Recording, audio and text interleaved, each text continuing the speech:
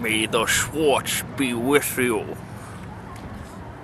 Wayne's World, Wayne's World, party time, excellent.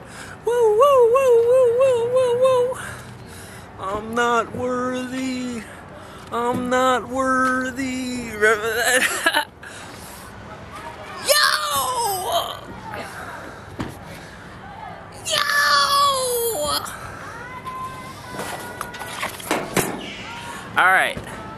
I'm freaking out, man. That was. Oh my god, man. I could cry right now, man. That was so beautiful. I'm overjoyous, man. And then.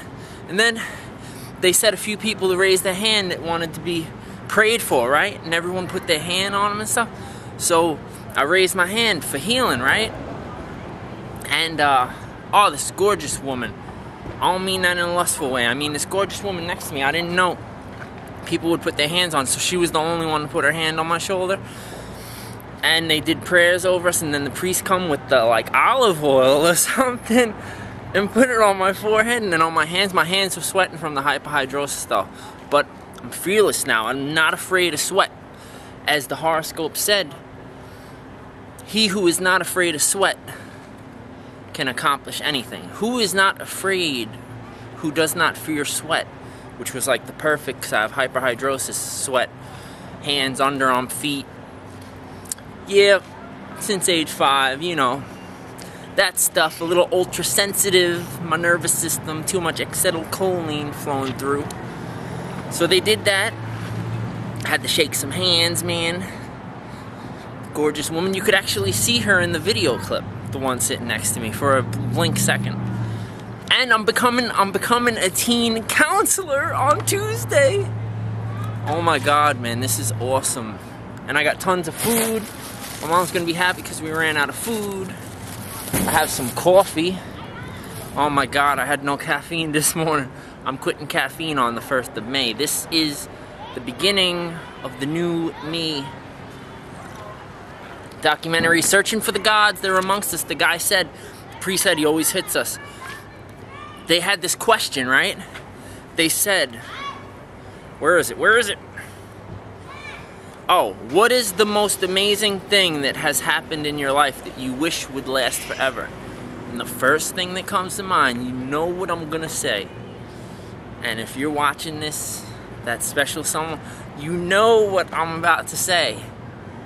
The one, the most amazing thing that ever happened in your life that you wish would last forever, it like went off in my head. Melanie. Oh my god, Melanie. Oh my god, Melanie. And no matter what happens, I wish her the best. I love her so much and care so much. But the month of May, it's sad to say, I gotta get my mind off her because it's too painful for me. So I just pray for true love, whatever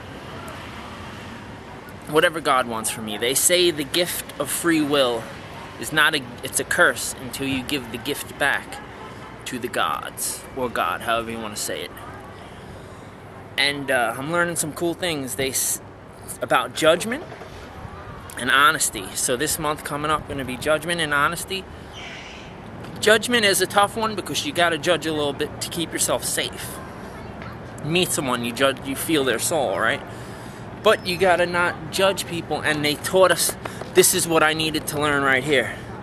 Okay, this is like a law. I'm gonna start studying all religions. I'm going to the library, man, today. I want to get all those religious texts, all of them. I want the Book of Enoch, man. I want to know what the extraterrestrials told him back then. You know, I want to get the uh, Book of Proverbs, the Hebrew. I want to get all the books. I'm talking. I am talking about holy cow, the, the Quran, everything, man. I want all the books, all the religious texts. I believe they all hold keys, man. Keys to the higher intelligence, the higher source, the higher knowledge. So this is what they taught. This is it, love right here. Love. It says a new commandment. Love love all people as I have loved you, as God has loved us, right?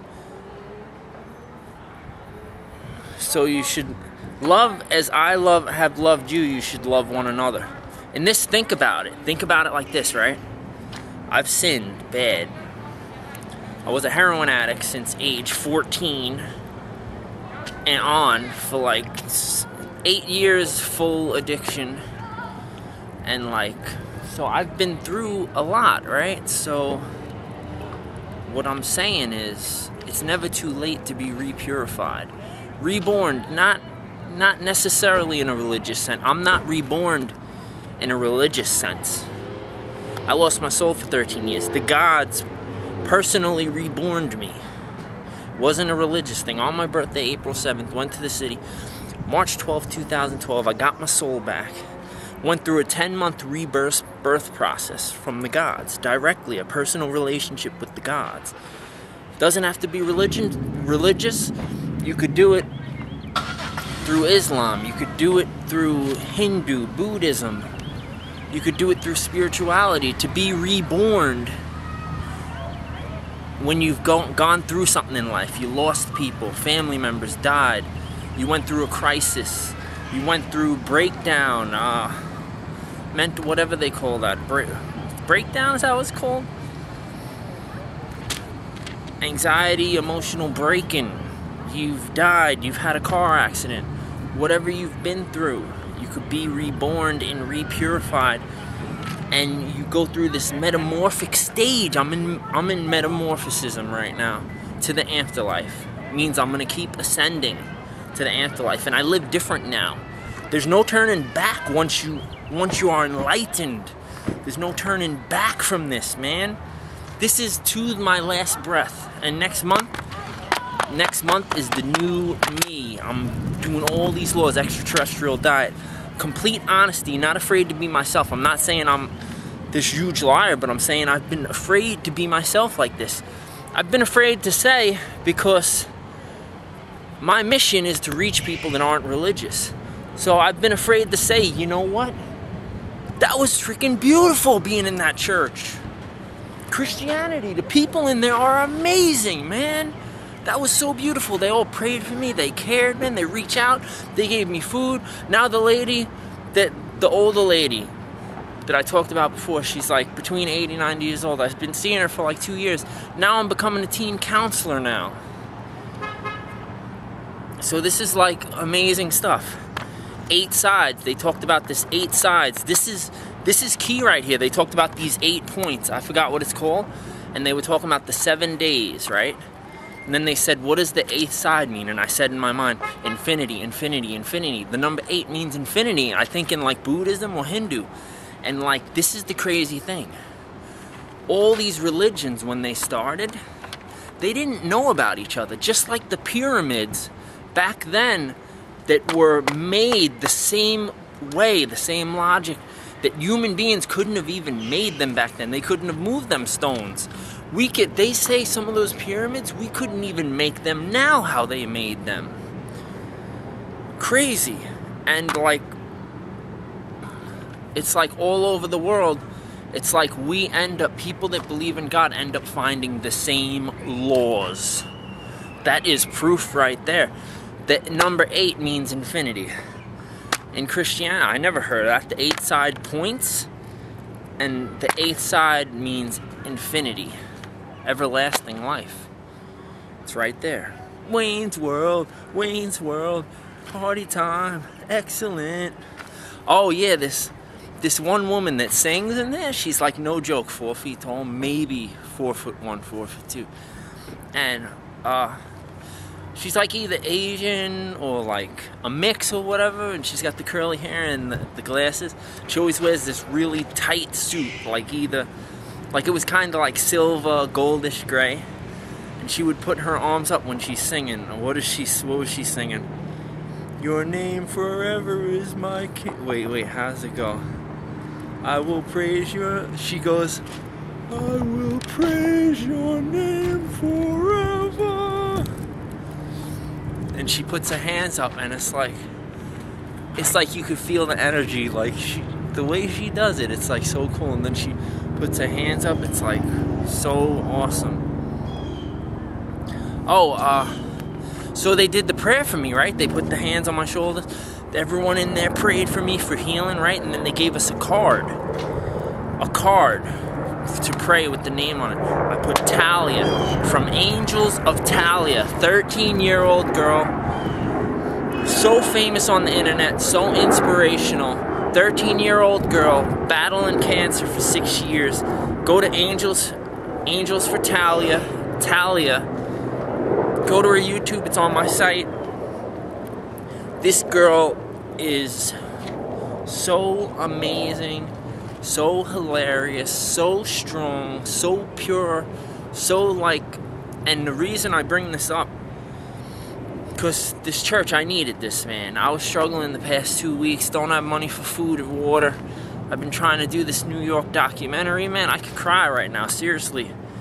But like, I tried so hard, man, to do this documentary like, I don't have money, I don't have food or water, so I can't go on. I'm not complaining. I'm grateful for everything, for having my spiritual self no matter what happens here. What I'm saying is, girl 13 been battling cancer six years, right? I threw my life away a year at age 14. I decided to throw my life away. My life would have been perfect. I decided to sniff that heroin at age 14. So what I'm saying is you know, I hope this girl survives, man. Because she'll save lives, you know? So.